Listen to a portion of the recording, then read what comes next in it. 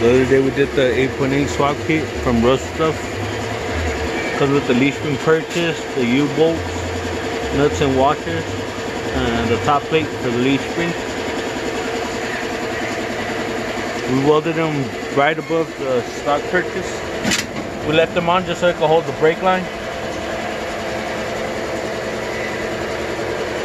It's a 8.8 out of a 99 Explorer with 373s and limited slip. We left the same pinion angle. You gotta get a longer brake line. And we have, oh, and it also comes with the shock mount.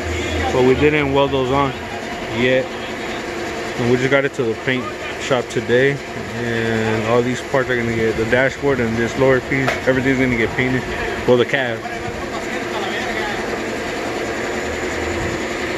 So stay tuned. Hopefully we get out of the shop in a couple of days. They're still working on it. Fixing little things here and there.